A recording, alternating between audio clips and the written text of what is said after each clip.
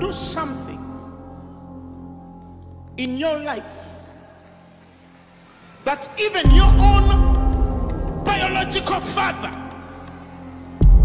or mother will ask you, Are you my child? That is called the anointing.